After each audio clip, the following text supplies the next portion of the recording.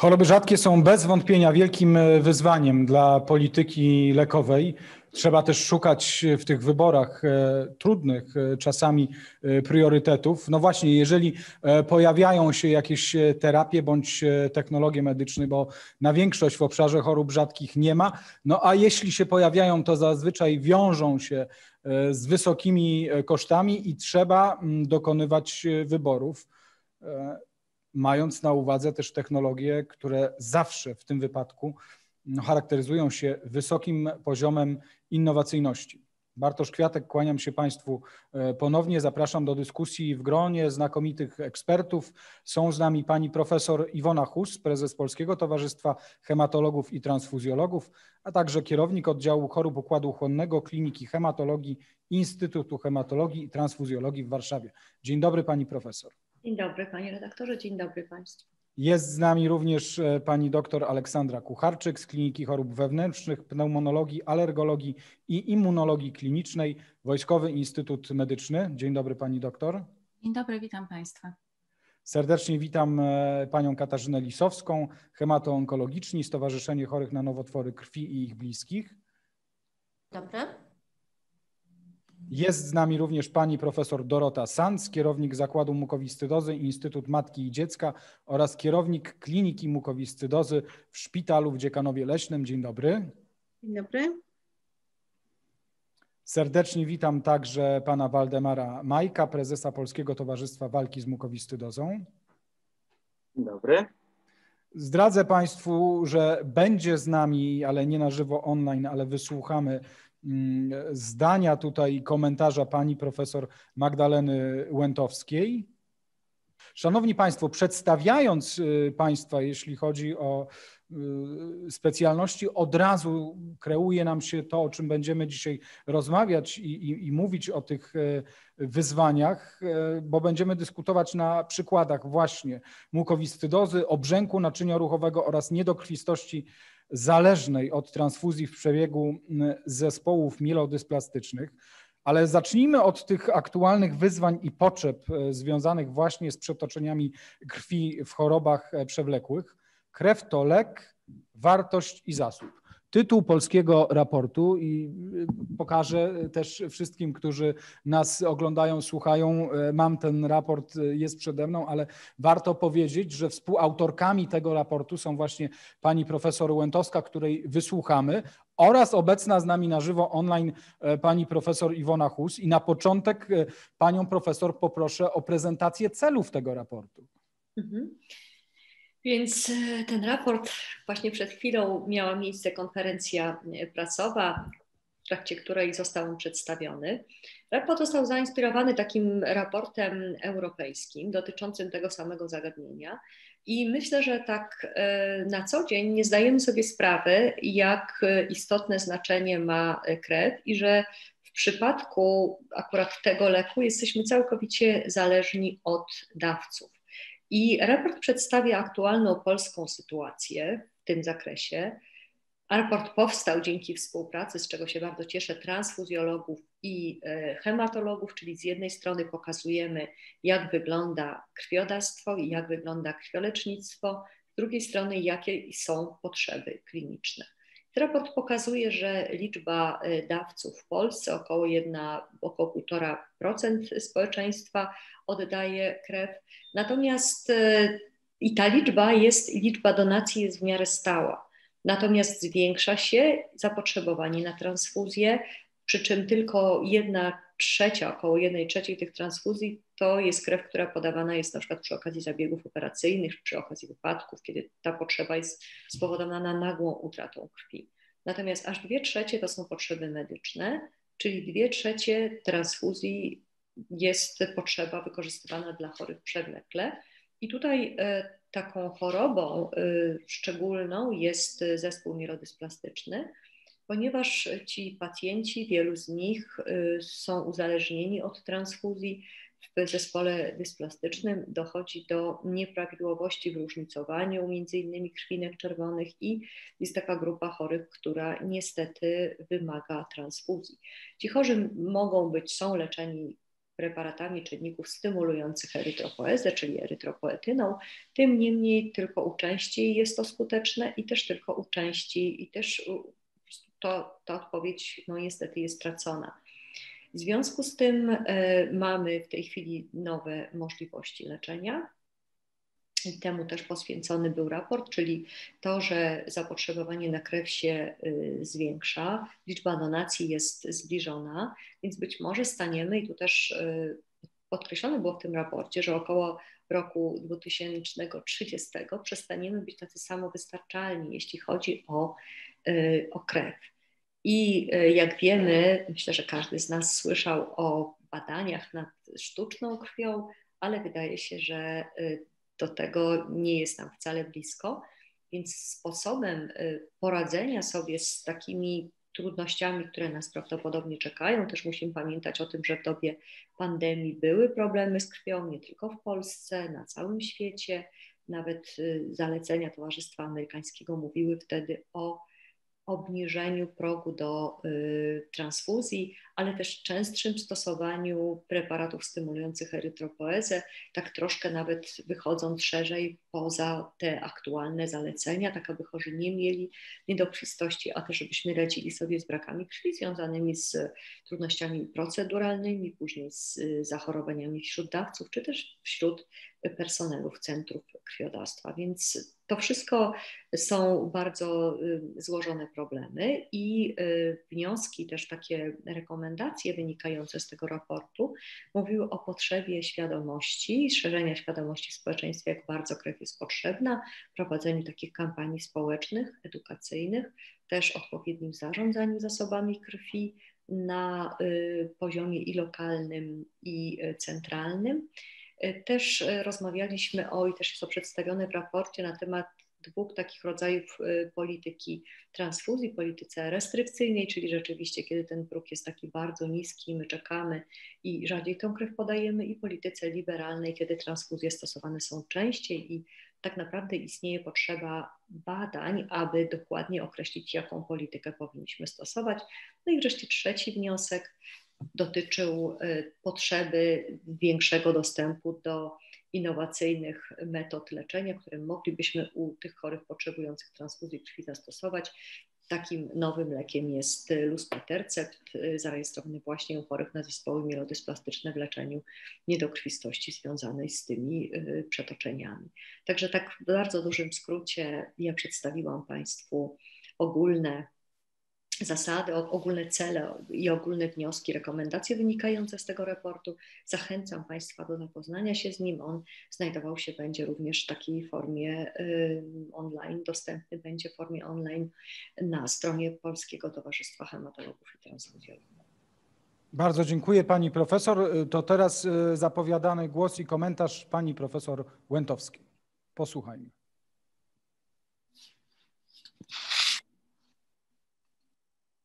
Krew to jest pojęcie bardzo ogólne. Z krwi, którą pobieramy od dawców, możemy otrzymać różne jej składniki. Do nich należy koncentrat krwinek czerwonych i to jest główny składnik przetaczany y, u pacjentów. E, oprócz tego świeżo mrożone osocze, do którego wskazania są niezwykle ograniczone i dawki terapeutyczne koncentratu krwinek płytkowych, który też stosowany jest w określonych sytuacjach. My rocznie mamy około półtora miliona, może trochę więcej wszystkich przetoczeń składników krwi, z czego największą liczbę stanowią właśnie koncentraty krwinek czerwonych, bo tych przetoczeń jest niecałe milion dwieście. Przetaczamy koncentraty krwinek czerwonych osobom z niedokrwistością, ale to wcale nie znaczy, że każda osoba, która ma stwierdzoną niedokrwistość, e, otrzymuje przetoczenie krwi, wręcz przeciwnie, ten odsetek jest no, bardzo ograniczony i są określone wskazania do mm, tego przetoczenia. Mniej więcej jedna trzecia krwi, koncentrat, trzeba powiedzieć koncentratów krwinek czerwonych, przetaczana jest w sytuacjach mm, nagłych, to znaczy wtedy, kiedy mamy do czynienia z krwotokiem. E, to jest przede wszystkim krwotok urazowy i krwotok poporodowy. mm, ale także wszystkie e, zabiegi operacyjne, które powikłane są krwawieniami. Natomiast dwie trzecie e, koncentratów tkinek czerwonych przetaczanych jest w chorobach przewlekłych, przewlekłych niedokrwistościach.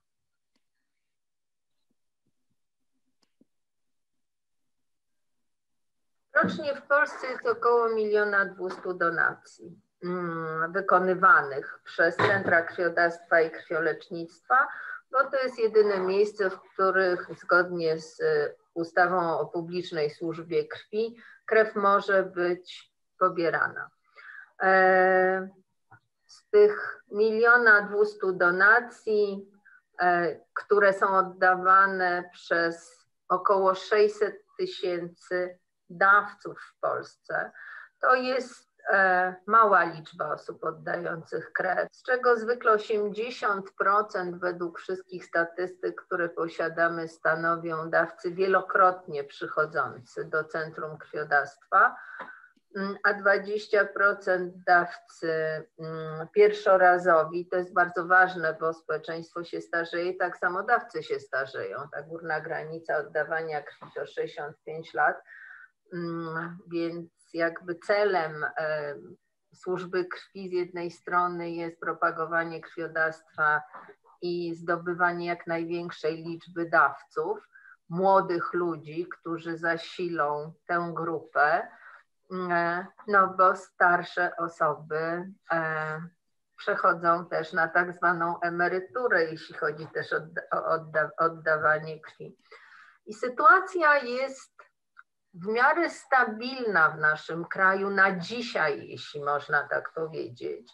Na przestrzeni najbliższych 30 lat przewidywany jest deficyt, jeżeli chodzi o dawców, a tym samym o składniki krwi, a równocześnie wzrost zapotrzebowania na krew z uwagi właśnie na starzejące się społeczeństwo. Jedną z najczęstszych przyczyn niedokrwistości przewlekłej jest niedokrwistość chorób przewlekłych. Jak wpłynął COVID? Jak, jak wpłynęło zakażenie e, SARS-CoV-2, które pojawiło nam się z nienacka w marcu zeszłego roku? Otóż oczywiście zmniejszyła się liczba dawców. Nie było takiej sytuacji w Polsce, że brakowało krwi nie, nie słyszeliśmy ogłoszeń, jak to zwykle bywa w okresie letnim, że brakuje jakiejś grupy krwi w, w danym regionie. Sytuacja jest taka, że są odpowiednie wskaźniki, które, mm, które nam mogą odpowiedzieć, czy dan, dany kraj jest samowystarczalny, jeśli chodzi o zaopatrzenie w krew i składniki. Takim wskaźnikiem jest albo liczba donacji na tysiąc mieszkańców, ale bardziej, e, ale bardziej odpowiadający na pytanie jest wskaźnik zużycia czy przetoczeń koncentratów krwinek czerwonych na tysiąc mieszkańców, e, przetoczeń koncentratów krwinek czerwonych na tysiąc mieszkańców. Ten wskaźnik u nas wahał się poniżej 20 na, poniżej 30 na tysiąc mieszkańców Teraz on jest w granicach 30-31 przetoczeń KKC na tysiąc mieszkańców. To znaczy, że tak naprawdę w naszym kraju ta polityka y, oszczędzania krwi y, była jakby od początku zachowana. Nigdy nadmiaru tej krwi nie mieli. I krwi nie zastąpi się niczym e, w leczeniu, wtedy kiedy są wskazania do jej przetaczania. Natomiast oczywiście leczenie krwi, krwią nie jest podstawowym leczeniem e, niedokrwistości, wręcz jest ostatnim ogniwem tego leczenia.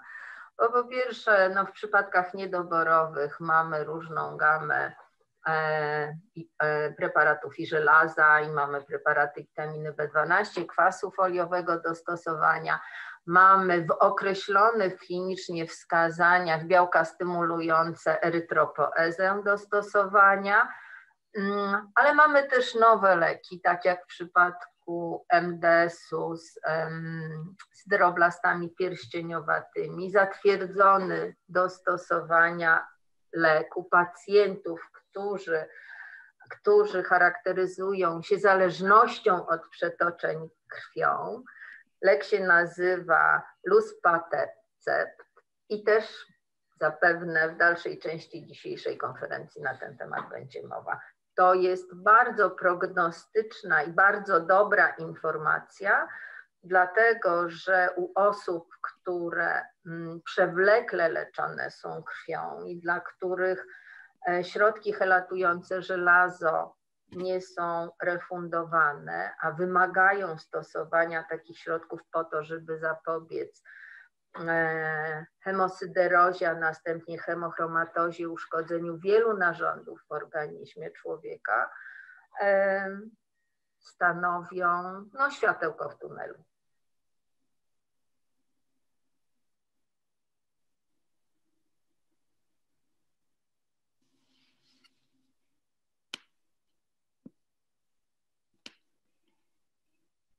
Podstawowa rzecz, e, którą ten raport pokazał, to jest to, że w przyszłości e, możemy spotkać się z problemem braku krwi i jej składników, czyli e, działania po to, żeby zapewnić leczenie pacjentów, powinno iść wielokierunkowo.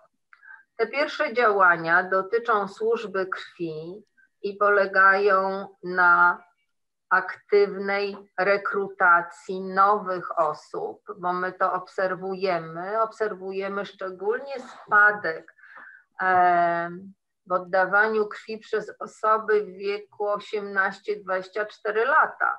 Drugi aspekt to są e, standardy, według których należy postępować. I trzecia rzecz, która jest niezwykle ważna, to właśnie wprowadzenie nowych leków, które e, zmniejszą zapotrzebowanie, bo tych leków, ja wspomniałam o jednym, ale w badaniach klinicznych ich jest oczywiście więcej, które zmniejszą zapotrzebowanie na stosowanie krwi i składników. Bo na koniec chciałabym bardzo mocno podkreślić, że każde przetoczenie niesie za sobą ryzyko powikłania, czyli niepożądanej, ciężkiej, niepożądanej reakcji, która może skończyć się zgonem pacjenta. To wracam do pani profesor Hus. Pani profesor, gdyby powiedzieć możliwie najkrócej, bo mówimy o konkretnym rozwiązaniu, konkretnym leku, dlaczego ono jest tak ważne? Dlatego, że niedokrwistość u chorych na mm, zespoły mielodysplastyczne niskiego ryzyka to jest jakby taki wiodący, czołowy objaw, niedokrwistość, która wymaga u bardzo wielu, właściwie większości z tych pacjentów transfuzji, uzależnienia od transfuzji. I tutaj mamy dwie e, istotne kwestie, które stanowią problem, ponieważ z jednej strony mamy, możemy mieć i, i, spotkamy się w przyszłości, tak jak wspominała o tym pani profesor Łętowska, z brakami w produktach krwi. Z drugiej zaś strony to leczenie nie jest obojętne do, dla organizmu ono wiąże się z wtórnym, takim nadmiernym gromadzeniem żelaza w organizmie, taką wtórną hemochromatozą, która może prowadzić do niszczenia narządów wewnętrznych. Nie mamy dostępnego w Polsce skutecznego leczenia, y, które pomogłoby organizmowi pozbyć się tego, y, tego żelaza. Może dochodzić do powikłań autoimmunologicznych, wiąże do powikłań immunologicznych, do autoimmunizacji. Wiąże się to również z koniecznością hospitalizacji i ma bardzo negatywny wpływ na jakość życia pacjenta. Dlatego poszukiwanie tych nowych rozwiązań, i to ponownie, jak wspomniała pani profesor, takie leki są w kolejnych badaniach oceniane. Zarejestrowanym lekiem jest luspatercept. Pozwala tym chorym na uniezależnienie się od transfuzji. I y, dlatego ma to tak duże znaczenie dla tych pacjentów. Jest to też lek, myślę, innowacyjny, taka przełomowa technologia, ponieważ te leki, które stosowaliśmy wcześniej, czyli y, to były leki, które stymulowały wygrzewanie krwinek czerwonych, ten lek plus patercept jakby wpływa na czynniki, które w chorobie nowotworowej wpływają na mm, zahamowanie dojrzewania. Także on jakby odblokowuje dojrzewanie, różnicowanie krwinek czerwonych, więc trochę bardziej działa na y, patomechanizm niż tylko na objaw i y, został uznany za jeden z najbardziej takich oczekiwanych leków y, w tej, dla tej grupy chorych, ponieważ tak naprawdę do niedawna nie mieliśmy dla tych pacjentów właściwie oprócz transfuzji po niepowodzeniu stosowania erytropoetyny, też erytropoetyna, te preparaty stymulujące erytropoezę, one mm, mają, ma sens ich stosowanie przy określonym poziomie, niezbyt wysokim tej natywnej erytropoetyny, więc u tych chorych, u których ten poziom był podwyższony, stosowanie tego leku było nieuzasadnione. Więc to jest bardzo mm, taki lek, na który myślę pacjenci i my bardzo czekaliśmy. Bardzo dziękuję pani profesor i chcę poznać tę perspektywę pacjentów, dlatego że jeżeli mówimy o pierwszym i jedynym rozwiązaniu terapeutycznym, także dla określonej grupy pacjentów, bo to jest 120 osób rocznie, to co to dla nich oznacza? W kontekście też y, pytam tutaj panią Katarzynę Lisowską, tych obciążeń bez y, wątpienia, gdzie mamy uzależnienie od transfuzji. Znaczy, tak jak tutaj powiedziały y, dwie pani, panie profesor, jest to, y, że tak powiem, najnowszy w tej chwili y, osiągalny lek, który zastępuje krew. Zaraz, przepraszam sekundę, bo niestety pracy, będąc w domu, rozmawiam przez telefon, zaraz sekundeczkę. A tu wszystko chyba niesie. E, Przepraszam. To są absolutnie y, pandemiczna normalność, z jaką e, żyjemy i z jaką się mierzymy, także nic się takiego nie dzieje. No, marzymy wszyscy o tym, e, myślę, żeby spotkać się w normalnych warunkach też i dyskutować e, razem, spotykając się, a nie w takiej mm, wersji online. Ale póki co ze względów bezpieczeństwa i przede wszystkim dla naszego zdrowia, wokół zdrowia przecież rozmawiamy, to jest to jedyne z możliwych rozwiązań. Także przepraszam jeszcze raz, ale tak jak y, y, Pan mówi, wszyscy marzymy o tych spotkaniach face to face, a nie online i niestety wychodzą różne dziwne y, historie przy tym. Więc proszę Państwa, to jest lek, tak jak powiedziały dwie Panie profesor, który zastępuje w pewien sposób krew. Krwi nie da rady zastąpić, więc jest to lek dla naszych pacjentów chorych na zespoły mielodysplastyczne, czy później mam nadzieję w przyszłości e, e, chorych na mielofibrozę, który będzie zastępował te przetoczenia. E, w zeszłym roku udał, ukazał się, tu tak pokażę, taki głos pacjenta onkologicznego, gdzie Aleksandra Rudnicka, rzecznik prasowy, opisuje właśnie, że tak powiem, wszystkie potrzeby tych pacjentów, którym potrzebna je, potrzebne jest leczenie zamiast krwi. W tej chwili, z tego co wiem, no to jest ośmiu pacjentów na RDTL-u, e, którym e, ten lek jest, że tak powiem, przyznany. Więc e, taką nadzieją, że tak powiem, takim naszym marzeniem jest, żeby ten lek był w Polsce w programie lekowym i wtedy Państwo, lekarze będą decydowali i program lekowy będzie decydował, komu ten lek należy podać. Bardzo dziękuję Pani za e, ten głos. To chciałbym teraz, żebyśmy do kolejnego obszaru przeszli. Tutaj mówiliśmy o konkretnej e, grupie pacjentów, 120 osób rocznie, przypomnę. Ja oczywiście będę wracał na zakończenie naszej dyskusji do rekomendacji i wniosków w tych obszarach, ale mówimy no o wyzwaniach w chorobach e, rzadkich. To teraz przejdźmy do zespołu naczynioruchowego bo tutaj też mamy bardzo określoną grupę y, pacjentów. Pani doktor mnie poprawi, jeśli się mylę, ale to 150 pacjentów rocznie, którzy także potrzebują y, rozwiązania ich y, problemu. Ale w jaki sposób można to zrobić, to pani doktor Aleksandra Kucharczyk nam właśnie powie. Ja może powiem e, parę słów na wstępie o tym, co to jest za choroba, bo to jest rzeczywiście no, rzadka choroba, z którą mało mamy do czynienia. W Polsce jest e, około 400 takich pacjentów, którzy mają postawione, e, postawione rozpoznanie. Choroba, która polega na tym, że pojawiają się obrzęki, natomiast one pojawiają się w różnych miejscach. Dotyczą skóry, ale to, czego tak naprawdę się boimy, to są obrzęki dotyczące błon śluzowych krtani. Dotyczące śluzówek przewodu pokarmowego. Takie obrzęki, które dotyczą krtani powodują, że w każdym roku umiera jeden lub dwóch takich naszych pacjentów, mimo tego, że mamy dostęp do w miarę nowoczesnego, w miarę nowoczesnego leczenia. Niestety, nawet jeżeli chory przyjmuje leki na napady takich obrzęków, to E, czasami przyjmie te leki zbyt późno albo znajduje się zbyt daleko od ośrodka, e, od ośrodka zdrowia. Ja może jeszcze wrócę tutaj do e, tej patogenezy choroby. Wynika ona z tego, że pacjent nie produkuje C1 inhibitora. Jest to białko, które jest potrzebne w procesach krzepnięcia, kininogenezy i jego brak w szczególnych warunkach, my tak naprawdę nie do końca wiemy, dlaczego tak się dzieje, że te obrzęki się pojawiają. Wiemy, że to jest sytuacja stresu, że to jest sytuacja urazu, natomiast czasami zupełnie nie wiemy, jest to nieprzewidywalne, pojawia się e, obrzęk. I ten obrzęk, jeżeli e, podamy leki, e, on mimo wszystko jeszcze przez jakiś czas narasta. I to jest właśnie to takie śmiertelne zagrożenie dla pacjenta. Obrzęki skóry też są niezwykle uciążliwe. One pojawiają się w różnych miejscach, są asymetryczne. Natomiast to, co jest z nimi związane, no to olbrzymi dyskomfort i bardzo silny, i bardzo silny ból. Dyskomfort, no bo one bardzo często dotyczą okolic twarzy. Ci pacjenci, no one, są, one są gigantyczne, obrzęki, bo praktycznie one przestają narastać dopiero wtedy, kiedy wyrówna się ciśnienie hydrostatyczne tkanek.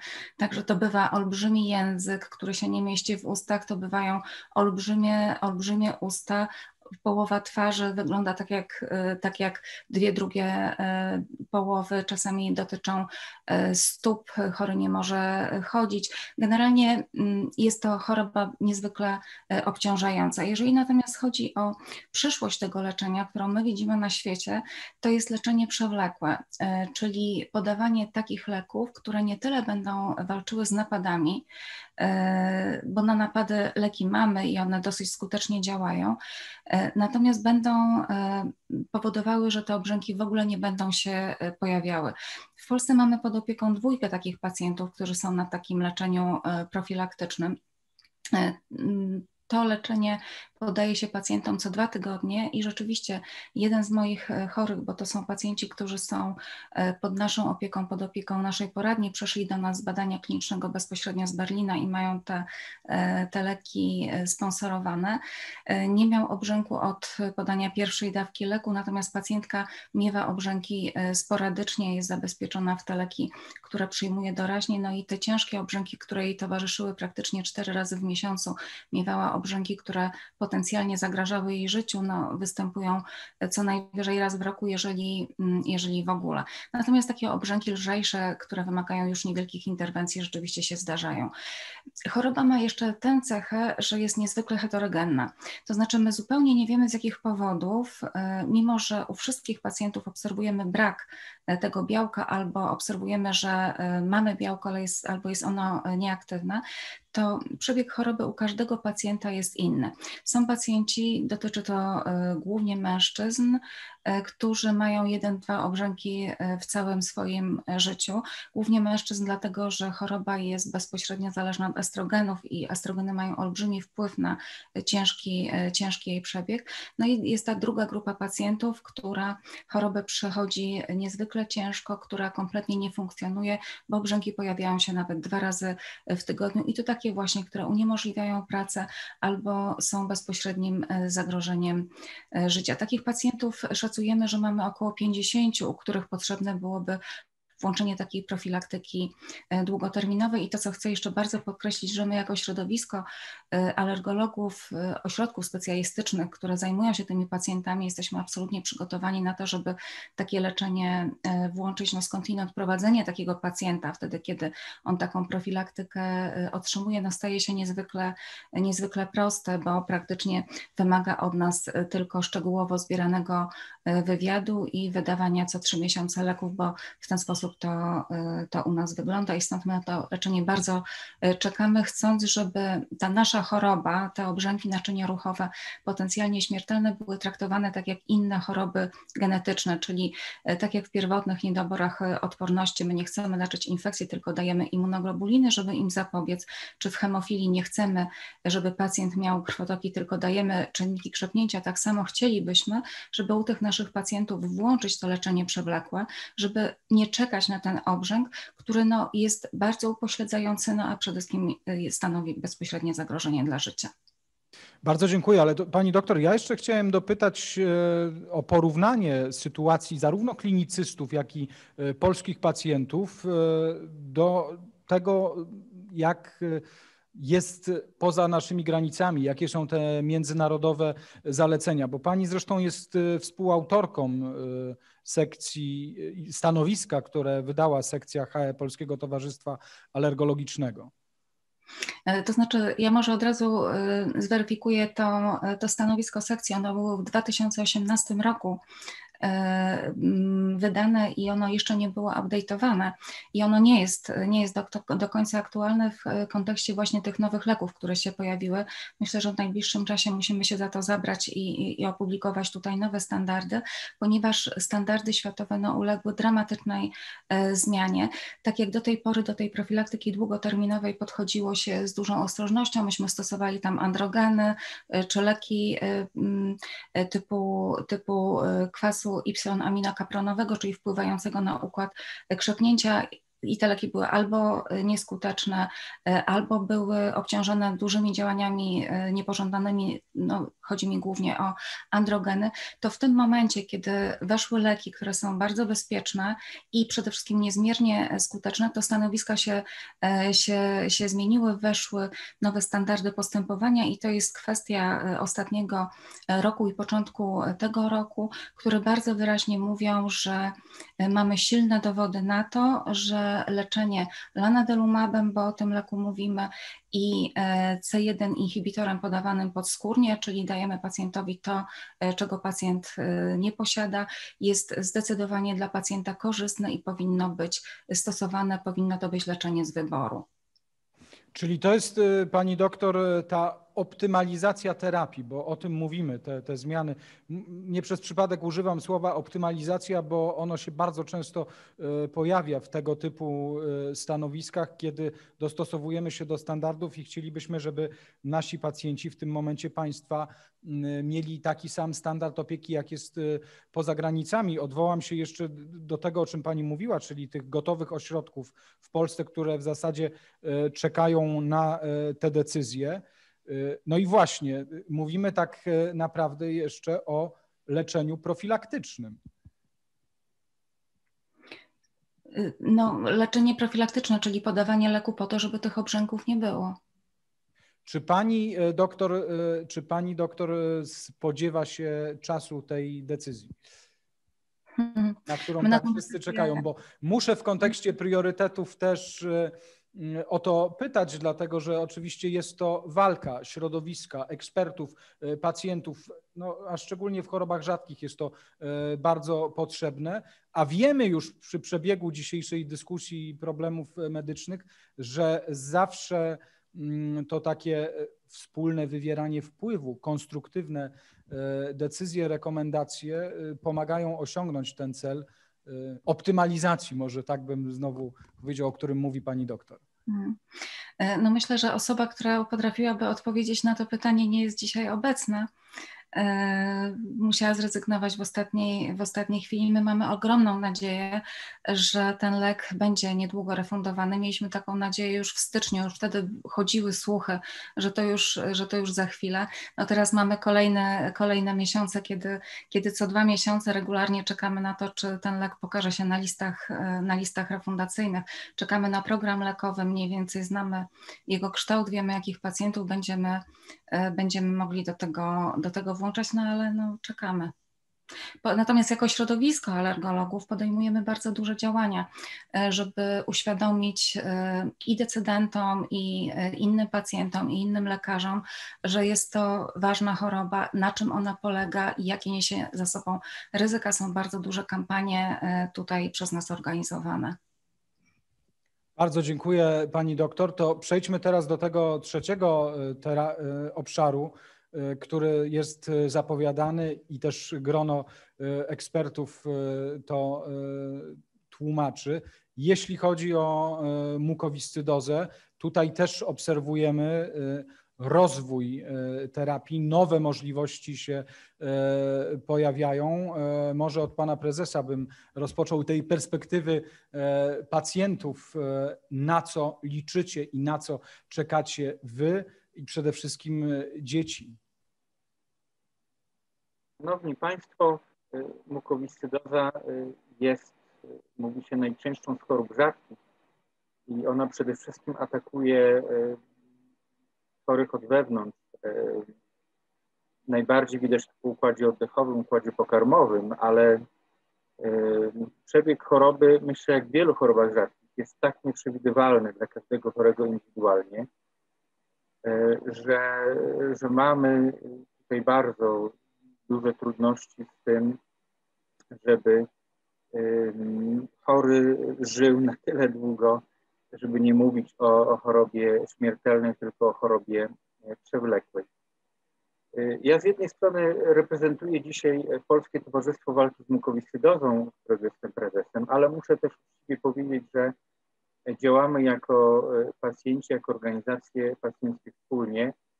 Tworzymy MUKO koalicję, e, koalicję organizacji, do której oprócz PTWM należy również PTWM oddział w Gdańsku, Fundacja Matio, Fundacja Podaruj Oddech i Fundacja MUKO Health.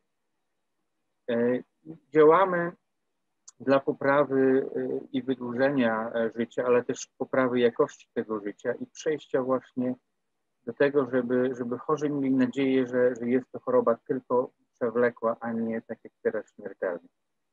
Żeby Państwu uzmysłowić e, taką perspektywę rodzica e, dziecka, jak, jak dowiadujemy się o diagnozie, to pierwszą rzecz, o której się dowiadujemy, to de facto to, że długość życia w Polsce to jest około 24-25 lat. To jest coś, co, e, co przybija każdego, nie tylko psychicznie, ale też od strony samej tej świadomości nieprzewidywalności.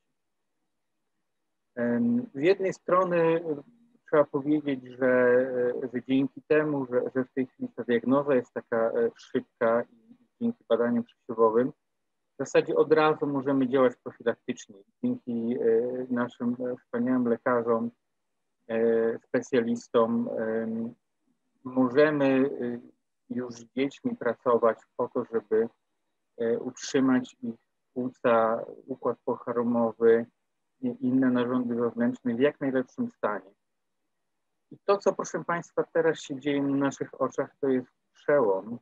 E, przełom w leczeniu mukowiscydozy i to przejście e, do nowych terapii, które adresują przyczynę powstawania choroby, a nie tylko reagują na e, profilaktycznie na objawy. Muszę powiedzieć, że wieloletnia walka, bo to jest w tej chwili już 9 lat, jak, jak pacjenci i środowisko medyczne wspólnie walczymy e, od momentu pojawienia się pierwszego leku przyczynowego. Mm, muszę powiedzieć, że, że ta walka e, ma sens i e, ta terapia mm, jest w jakimś sensie w zasięgu, w zasięgu ręki. Przeszkoda, którą mamy, to jest oczywiście koszt tej terapii i, i oczekiwanie, czy, czy one będą refundowane. Mm, tak jak one są refundowane już w wielu e, cywilizowanych krajach na świecie. Muszę powiedzieć, że, że mamy pierwszy, pierwszy sukces we współpracy tutaj ze środowiskiem medycznym i we współpracy z ministerstwem. Od zeszłego roku, od końca zeszłego roku mamy pierwszy refundowany lek przyczynowy. E, on na razie jest tylko dla, dla nielicznej grupy e, osób, myślę, że poniżej 10 chorych w Polsce przy około 2000 osób chorych w ogóle. ale jest to i tak radość, bo, bo te kilka osób ma szansę na dużo dłuższe życie. W tej chwili w procesie refundacyjnym, rejestracyjnym i refundacyjnym są kolejne leki. Jeden lek z zeszłego roku i dwa kolejne ze wniosku złożonego przez producenta w tym roku. No i bardzo, bardzo liczymy na to, że, że te leki no dadzą, proszę Państwa, tą nadzieję na, na, na dużo dłuższe życie i zdecydowanie lepsze życie. To, co mogę powiedzieć z perspektywy doświadczenia pacjentów na świecie, a także tych pierwszych w Polsce, którzy biorą leki przyczynowe, wszystko się poprawia nie, nie chodzi tylko o samą wydolność płuc, ale jest tutaj dużo lepsza praca e, układu pokarmowego, dużo lepsze przyswajanie e, e, posiłków. Niesamowita, niesamowita wydaje mi się poprawa, jeśli chodzi o psychikę i taką motywację chorych do tego, żeby pracować, żeby żyć. No i proszę Państwa, przejście tych chorych, którzy by w jakimś tam słabym, średnim albo w bardzo złym stanie, nagle powrót do normalnego życia, do, do szkoły, do studiów, do, do pracy zawodowej. I to w przeciągu tygodni, nawet nie miesięcy, tylko w przeciągu tygodni, kiedy ta poprawa jest tak fantastyczna.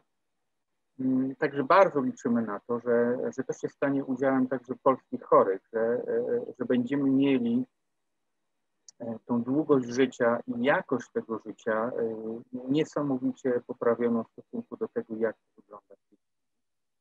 E, muszę powiedzieć, że, że nowoczesne terapie nie zatrzymują codziennej walki z mukowiscydozą, czyli tej profilaktyki, którą wdrażamy od pierwszego w zasadzie tygodnia życia.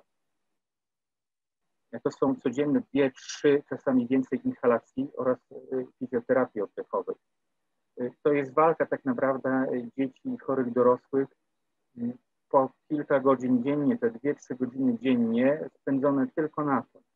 To jest cały czas walka o jakość y, y, i no, odpowiednią kaloryczność pożywienia, żeby, żeby chory utrzymywał na tyle wagę, żeby y, utrzymywał też odporność przed infekcjami. No i proszę Państwa, taka rzeczywistość, która e, wszystkich e, w covid e, i w obecnej sytuacji epidemicznej zaskoczyła, czyli taka większa izolacja, unikanie miejsc publicznych, no i zasłanianie twarzy maseczką, to proszę Państwa było udziałem chorych na od początku ich życia. Ja, ja mam w tej chwili zdjęcie takie jeszcze z Instytutu Matki Dziecka zanim pani profesor San z zespołem przeprowadziła się do, do szpitala w Dziekanowie, gdzie mój Adaś trzyletni jest w maseczce wśród tłumu różnych dzieci dorosłych na korytarzu i wygląda jak kosmita w tej maseczce, ale my od samego początku tego, tego pilnowaliśmy. Także mam taką nadzieję, mam taką nadzieję, że, że te leki będą wkrótce dostępne dla chorych w Polsce, będą refundowane, E, no i że ta jakość życia chorych dorosłych i ta nadzieja na, na długie życie stanie się naszym udziałem. Bardzo dziękuję panu prezesowi e, za ten głos i naturalnie teraz e, kieruję zapytanie w kierunku pani profesor Sanz. Pani profesor, Trzeba faktycznie, i to zostało odnotowane, już pan prezes o tym wspomniał, że dzięki e, współpracy ta listopadowa e, lista refundacyjna przyniosła oczekiwane e, rozwiązanie. No natomiast właśnie są te kolejne innowacyjne terapie, na które czekają klinicyści, polscy lekarze. To z perspektywy klinicysty, pani profesor, na co Pani najbardziej e, czeka, ale też w tym kontekście od razu pytam o, o sposób działania tych leków i, i, i populację, którą ona obejmuje. No, działanie, działanie tych leków jest przyczynowe, ale musimy pamiętać, dlaczego różne leki, dlaczego jedna choroba i różne leki. E, no, przede wszystkim e, mukowiscydoza jest spowodowana no, zmutowanym genem, który, których to mutacji jest już ponad 2000, ile razy zajrzymy do tej bazy mutacji, tych mutacji jest więcej, a ponieważ one w różnym momencie tutaj transkrypcji, translacji, czyli powstawania tego białka powodują defekt, w związku z tym też to leczenie dla poszczególnych grup mutacji ja myślę, że tutaj mając też na posiedzeniu onkologów, hemato-onkologów, y, oczywiście też są różne, różne oczywiście programy lekowe, w zależności od, od typu problemu i ta jedna mukowiscydoza, choroba rzadka, z uwagi na te ponad 2000 mutacji też ma różne podejścia terapeutyczne i stąd mówimy o lekach, a nie jednym, jednym cudownym leku. E, I e, lek rzeczywiście, mm, który jest już zarejestrowany, są, to jest ta grupa mutacji tak zwanych e, bramkujących, które, e, które jakby przepuszczają w trochę mniejszym e, stopniu, ale jednak ten kanał jonowy działa. W Polsce jest to stosunkowo rzadka grupa mutacji, stąd jest to około tam 8 do 10 chorych, którzy z tego skorzystają.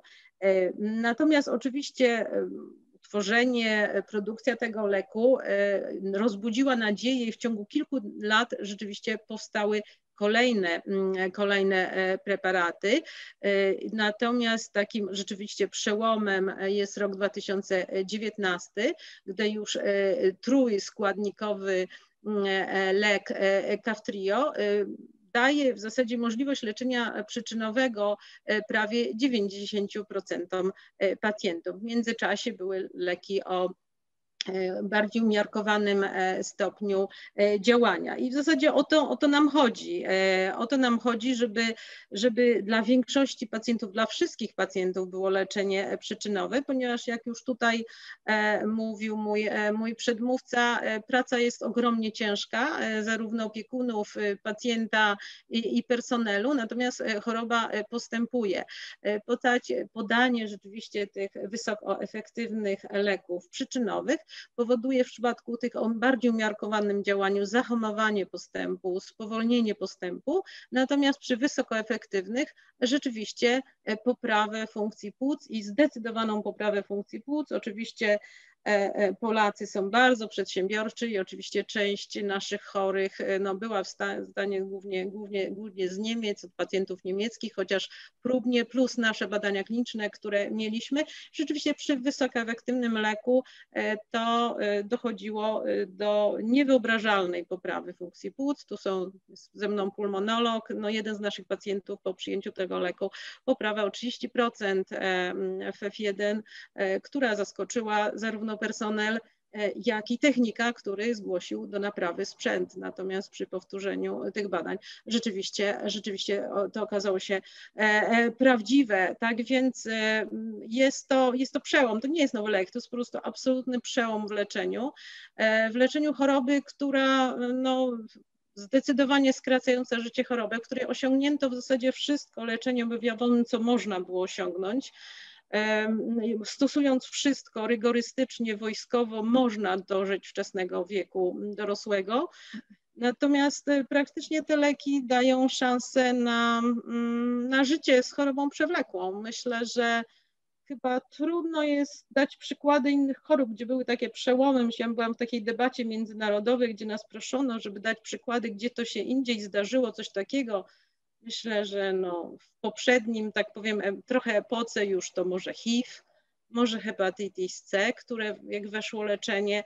No dla mnie jako pulmonologa, e, ja zaczynałam pracować jak wchodziły sterydy wziewne i jeszcze na moich tych pierwszych dyżurach były intubacje każdego pacjenta z astmą i rzeczywiście umierali ci niektórzy pacjenci po wejściu sterydów wziewnych. To się zrobiła ambulatoryjna specjalność, a nie kliniczna ale, ale to jednak była choroba przewlekła, to nie była choroba skracająca życia. Natomiast to, co się wydarzyło w mukowiscydozie, no jestem, cieszę się, że mogę, że mogę żyć i mogę dotykać takiego, takiego przełomu medycznego w sumie w, praktycznie w jednym pokoleniu lekarzy, w jednym pokoleniu specjalistów, że od wykrycia genu odpowiedzialnego za chorobę w 1989 praktycznie od 2019 mamy leczenie przyczynowe dla 90% pacjentów, bo zostają jeszcze, jeszcze grupa mutacji, które w ogóle nie produkują białka i bardzo rzadkie, rzadkie mutacje. Więc sytuacja jest rzeczywiście ogromnie dynamiczna, ogromnie ciekawa. Standardy w zasadzie międzynarodowe nie nadążają za tym, co się dzieje, bo, bo ogłoszenie wyników tego najnowszego e, leku Kaftrio, Trikafta w Stanach nastąpiło na zjeździe 2019. FDA przyspieszył procedury. CNN News podało tą wiadomość jako główne, w głównym wydaniu, w pierwszym zdaniu. E, konserwatywna NICE w Wielkiej Brytanii e, wprowadzał ten lek w trybie CIT-owym, prawie łącznie ze szczepieniem, które wykonywał bardzo efektywnie. Tak więc no, mamy, mamy do czynienia z niesamowitym przełomem i osiągnięciem medycznym, no, które myślę środowisko pacjentów, środowisko profesjonalistów, E, no, y, ogromnie ekscytuje. Tak jak mówię, nie nadążamy za procedurami troszeczkę w tym, co się dzieje, a czas ucieka. Dlaczego takie tempo? No bo, no bo to jest choroba, która zdecydowanie skraca życie. W związku z tym każde opóźnienie e, w tym leczeniu to jest kolejny, kolejny rok mniej. E, I czy mówimy o lekach, a nie o leku, tak? Skoro tak praktycznie są dwa leki bardzo wysoko efektywne, przy tym tempie E, no, jak w każdej innej chorobie, przy każdym innym problemie, najpierw zaczynamy od badań dla dorosłych, potem schodzimy mm, w te grupy pediatryczne. E, ja prowadząc ośrodek e, pulmonologii dziecięcej, biorę udział w tych badaniach najnowszych, najnowszych leków. Rzeczywiście ich działanie jest takie, że praktycznie to zaślepienie nie działa, bo my natychmiast widzimy, kto jest, kto jest na leku. E, natomiast to troszeczkę trwa, tak? Czyli jakby rejestracje e, schodzą, schodzą do dołu e, stopniowo.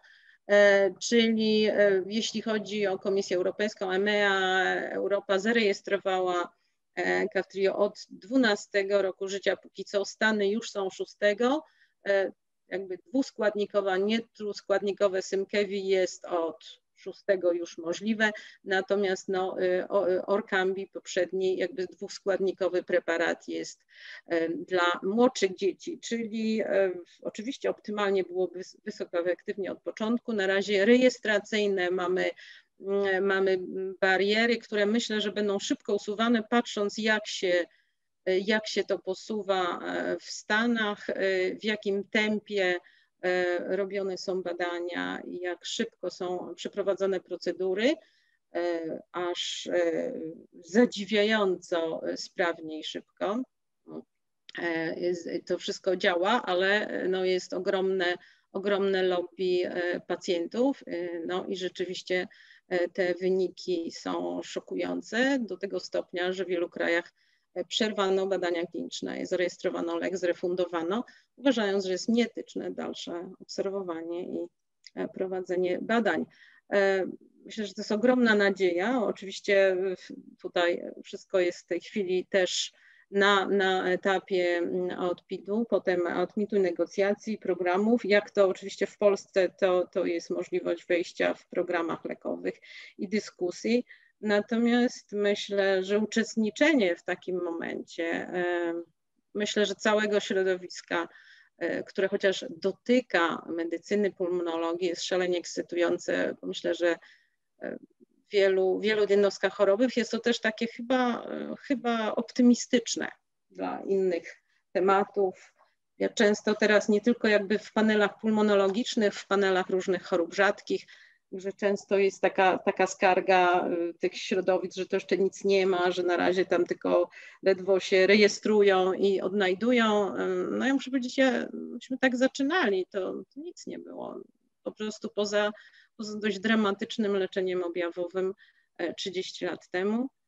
50 e, lat temu umierały dzieci przed pierwszym rokiem życia. 30 e, lat temu większość dzieci nie dożywało 18 roku życia w Polsce bo to jeszcze pamiętam nasz oddział w instytucie. E, w tej chwili już e, szczęśliwie jest coraz więcej, coraz więcej dorosłych, natomiast no, wszyscy marzą o tej geriatrii w mukowiscydozie, które myślę, że przy tym tempie hmm, chyba jest możliwa.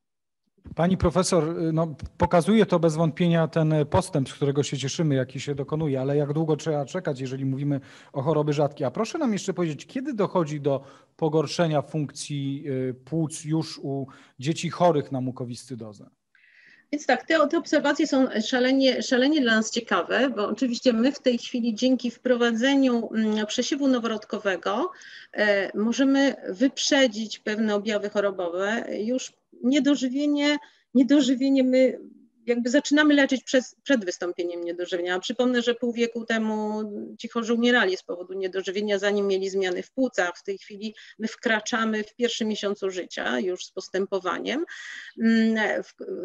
Nauką fizjoterapii, nawet jak nie ma jeszcze żadnych objawów płucnych. Natomiast to, co obserwujemy, e, to po pewnej takiej stabilizacji i przyzwyczajeniu się, przeszkoleniu rodziny i opiekunów, e, wszyscy mówią, no jakoś, jakoś tam jest. My oczywiście regularnie tych naszych podopiecznych widzimy i największy spadek funkcji płuc wyrażony w F1 występuje między szóstym 8 do 10 roku życia. Dlaczego wtedy?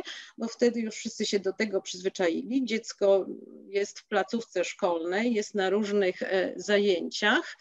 E, I powiedzmy, mając te 120%, jak spadnie do 100 czy 90, nikt tego nie zauważy. Potem jest dramat, dlaczego się tak nastolatek, czy w okresie dojrzewania to pogorszenie jest już tylko konsekwencją e, tego spadku e, wczesnego i no jak już z tych potem 90 spadnie do 70-60, ta różnica jest już bardzo istotna. Więc ja, ja wiem, że to i tak jest, te ostatnie lata są bardzo dynamicznie i się cieszę, że że jesteśmy w stanie też uczestniczyć w badaniach w młodszych grupach wiekowych. Dla mnie absolutnie, absolutnie kluczowe i niezbędne jest włączenie leczenia najpóźniej w szóstym roku życia, po to, żebyśmy zapobiegli temu dużemu spadkowi związanego z pozornym dobrostanem e, wczesnego wieku szkolnego i w zasadzie w tym czasie mamy też najtrudniejsze rozmowy z rodzinami, które chciałyby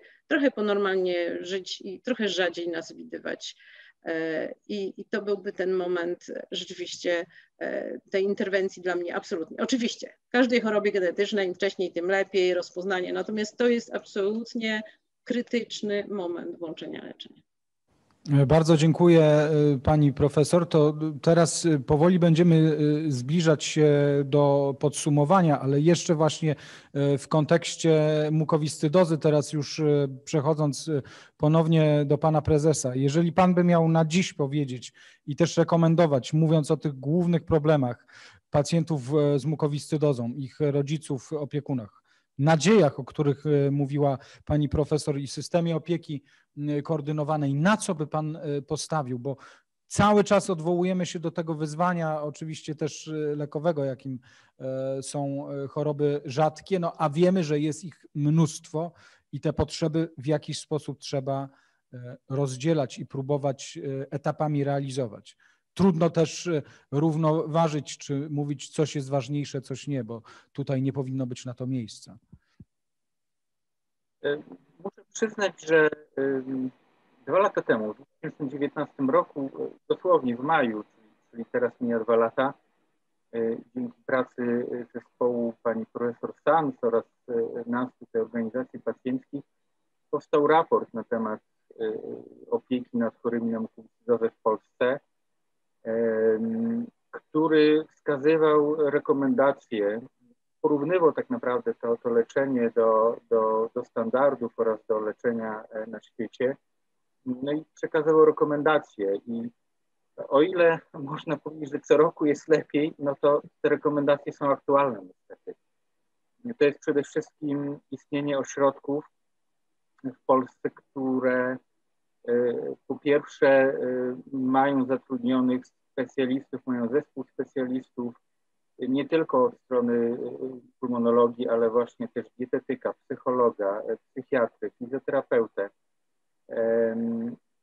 a także innych specjalistów, którzy, którzy pomagają. E, I ten taki przegląd pacjenta przynajmniej raz, e, raz na kwartał byłby takim ważnym aspektem, który należałoby stosować wobec wszystkich chorych w Polsce we wszystkich ośrodkach.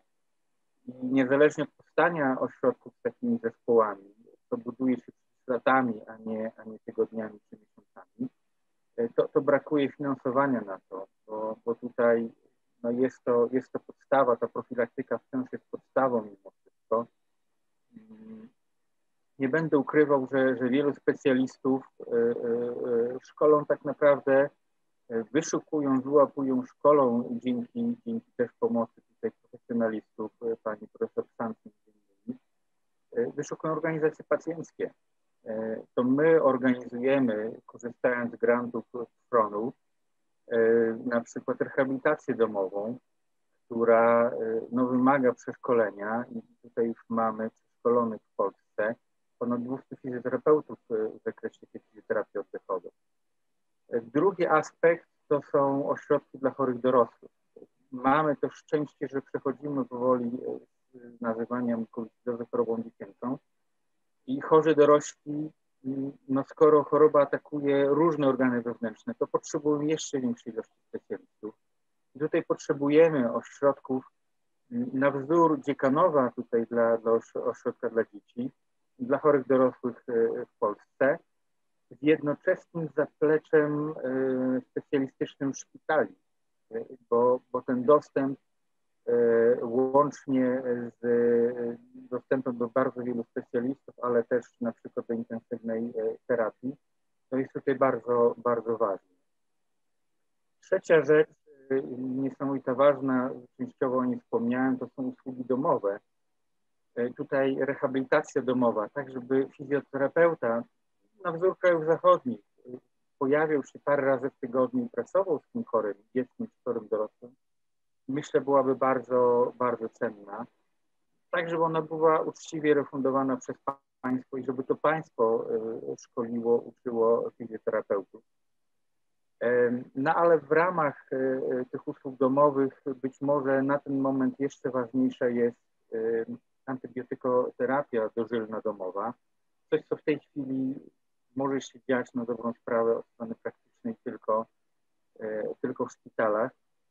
E, chory na mukowiscydozę, jeśli, jeśli jego e, ta infekcja jest lekooporna, no, no potrzebuje dużo mocniejszych antybiotyków dostarczanych dożylnie. Gdybyśmy mogli na wzór innych krajów odciążyć szpitale i podawać antybiotyki w domu w przyjaznym środowisku, bez narażenia na kolejne infekcje chorych, e, byłoby to fantastyczne. E, powstały przepisy prawne, ale one są niestety martwe od, od, od, od tylu lat.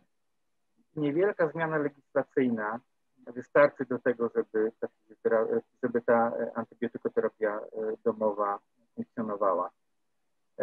Na to bardzo, bardzo liczymy.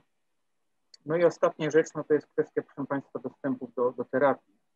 E, mówiliśmy dzisiaj z Panią Profesor przede wszystkim o, o nowoczesnych terapiach, ale nie zapominajmy, że, że, tak naprawdę mamy problem z dostępnością i, i z refundacją e, po prostu antybiotyków, które e, no, z perspektywy chorego są bardzo drogie, bo to jest często koszt paru, paru tysięcy złotych na jedną infekcję, mm, a one powinny być refundowane i myślę, że to pani profesor jeszcze to powie, przede wszystkim dostępne z dużym wachlarzem e, e, dostępności, bo, bo wiadomo, że, że organizm różnie reaguje na różne antybiotyki, e, no i staje się niejako oporny przeciwko nim, więc wiemy z perspektywy uczestnictwa w różnych konferencjach, że różnorodność antybiotyków dostępnych jest.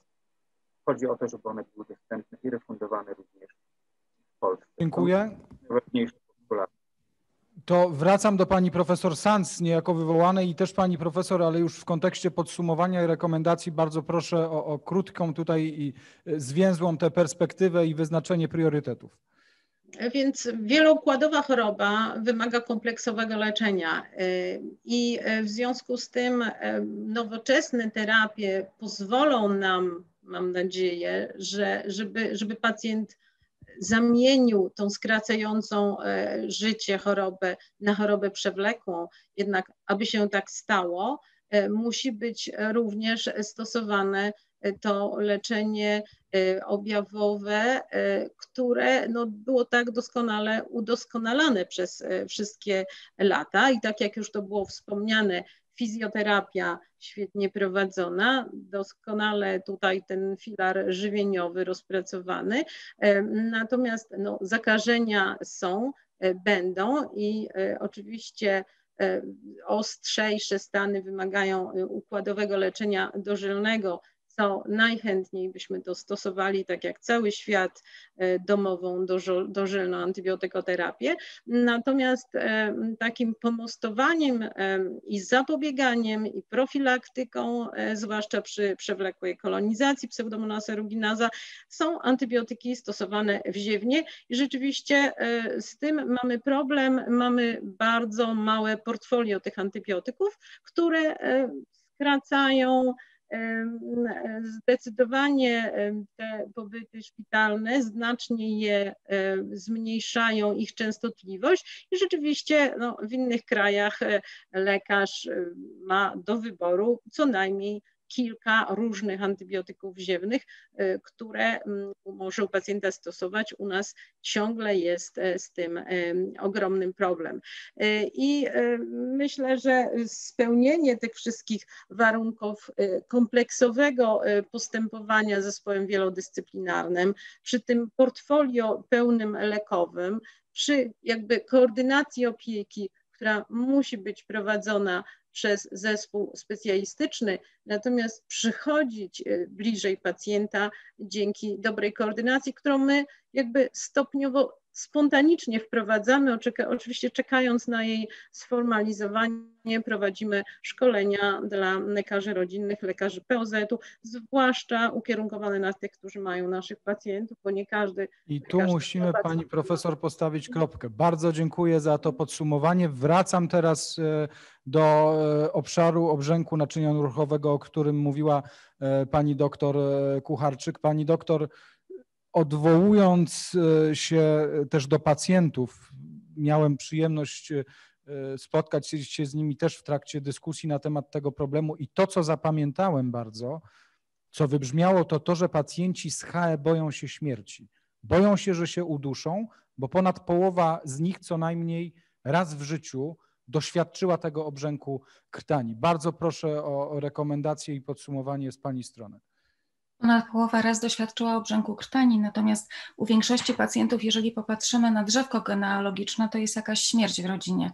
I stąd jest ta olbrzymia obawa i stąd ta zmiana paradygmatu myślenia o obrzęku naczynioruchowym i leczenia tego obrzęku, e, przejścia na leczenie przewlekłe, które daje pełne poczucie bezpieczeństwa i które powoduje, że nie dojdzie do tego potencjalnie śmiertelnego obrzęku krtani albo potencjalnie śmiertelnego obrzęku jamy brzusznej, gdzie może dojść do wstrząsu e, e, do, do, po prostu do wstrząsu.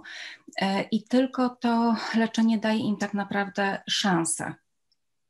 Bardzo dziękuję pani doktor. Zostały nam dosłownie trzy minuty. Wracam ponownie do pani Katarzyny Lisowskiej i pani profesor Hulc. Kiedy my mówimy o terapii, mówimy też i w kontekście chorób rzadkich, nie da się tego pominąć y, o kosztach ale y, do korzyści klinicznych dodajemy te ekonomiczne i społeczne, no bo krwi nie da się zastąpić y, w, stałach, w stanach nagłych i, i wielu przewlekłych sytuacjach. No dlatego potrzebne jest, jak rozumiem, to innowacyjne leczenie. O tym Panie e, mówiły, które zmniejsza e, zużycie e, krwi. To bardzo proszę Panie teraz o podsumowanie i rekomendacje. Może Pani Lisowska rozpocznie i na koniec Pani Profesor Hus. Państwa, mm, jeden z pacjentów powiedział, że niedokrwistość to huśtawka, ale nauczyłem się z nią żyć. Więc mam nadzieję, że jeżeli by powstał kiedykolwiek jakiś pamiętnik pacjenta, e, który jest poddawany częstą, częstym przetoczeniom krwi, no to zobaczylibyśmy tak naprawdę, jak wygląda jego życie. Więc e, lek, który jest dostępny i który może zastąpić te transfuzje, uważam, że powinien być w refundacji, powinien być w programie lekowym i e, lekarze powinni mieć wybór czy podadzą go pacjentom i jak go podadzą i w jakich okolicznościach, no bo wiadomo, że e, każdy program lekowy ma e, swoje za i, i przeciw, ale uważam, że program lekowy by był najlepszym wyjściem. Nie wiem, co pani profesor Hus na ten temat. Bardzo proszę, pani profesor. Absolutnie y, przychylam się do y, opinii przedstawionej przez y, panią Katarzynę Lisowską i też to porównanie ich huśtawki, bo jeżeli my podajemy krew, to najpierw jest podwyższone stężenie hemoglobiny i potem ono spada, potem znowu pacjent otrzymuje, natomiast i tak jest cały czas i tak jest często ci pacjenci zdarza się, że biorą powiedzmy co dwa tygodnie, raz w miesiącu transfuzję. Natomiast zastosowanie innego leczenia, zastosowanie terapii celowanych pozwala utrzymać ten, to stężenie hemoglobiny na bardziej stabilnym poziomie. Dodatkowa kwestia to też y, potwierdzę, że są sytuacje, kiedy my nie jesteśmy tej, na przykład nagły krwotok, nie jesteśmy w stanie inaczej pomóc pacjentowi niż tylko szybką transfuzją koncentratu krwinek czerwonych. Natomiast w chorobach przewlekłych to taki jest kierunek badań, ponieważ no, tak jak mówiliśmy, no, sztucznej krwi na razie nie możemy się spodziewać, więc dlatego należy przyłożyć jakby wszystkich starań, aby te terapie celowane, które mogą pacjentom uzależnionym od transfuzji poprawić jakość życia, sprawić, że oni nie musieliby tej, tego typu leczenia prowadzić, przez długi czas, to są często lata, ma ogromne znaczenie. To nie jest duża grupa pacjentów, ale podejście do leczenia zamiast krwi jest w tej sytuacji naprawdę innowacyjne i też uważam, że y, bardzo ważną kwestią byłoby, byłaby refundacja tego leczenia w ramach programu lekowego. Są pojedynczy chorzy, którzy są leczeni w ramach RDTL-u, ale wszyscy wiemy, że to nie, nie załatwia sprawy dla naszych pacjentów. Bardzo dziękuję pani profesor. Raz jeszcze pokażę ten raport w odniesieniu mm, do tego, co pani mówiła, że tej sztucznej krwi nie ma. To faktycznie lek, wartość, zasób, co, o czym krzyczy już okładka tego e, raportu i oczywiście zachęcamy do tego, aby się z nim e, zapoznać. Bardzo dziękuję państwu za udział w tym e, panelu. Bez wątpienia wyzwania, jeśli chodzi o politykę lekową w chorobach rzadkich, E, są i chciałoby się życzyć e, wszystkim, żeby pojawiały się nowe technologie medyczne, nowe leki na choroby rzadkie tam, gdzie ich nie ma, a jeśli się już pojawiają, to żeby szybko były e, dostępne, a jeśli pojawiają się E, tutaj, gdzie już są, ale coraz lepsze i skuteczniejsze, to także, żeby były dostępne, bo choroby rzadkie, jak wszyscy wiemy, wcale nie są rzadkie, jeżeli weźmiemy je wszystkie razem e, pod uwagę. No i trudno e, mówić o tym po prostu tylko w taki sposób, że osoby i ich rodziny, których dotknie ten problem, miały takiego, kolokwialnie mówiąc, genetycznego pecha, że wydarzyło się coś niedobrego. Raz jeszcze dziękuję pani profesor Iwonie Hus, pani doktor Aleksandrze Kucharczyk, pani Katarzynie Lisowskiej, pani profesor Dorocie Sanz i panu, profe, panu prezesowi Waldemarowi Majkowi. Wszystkiego dobrego. Dziękuję. Dziękujemy bardzo.